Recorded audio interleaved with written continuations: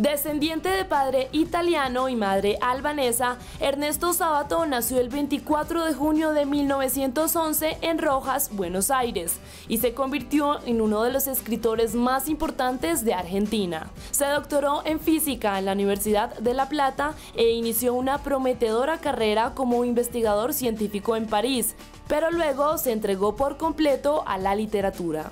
Comenzó su actividad literaria con el libro titulado Diálogos con Jorge Luis Borges. En 1947 bosqueja una primera versión de El túnel. Fue ministro de Relaciones Exteriores durante el gobierno de Arturo Frondizi. En 1961 publica su segunda novela sobre héroes y tumbas, la cual le daría renombre internacional.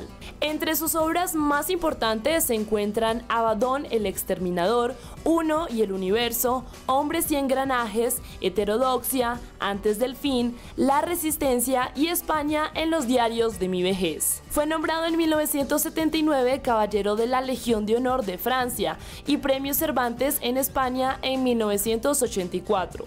Sabato falleció el 30 de abril de 2011 a sus 99 años, sin duda una gran figura de la literatura hispanoamericana. Esta fue la historia de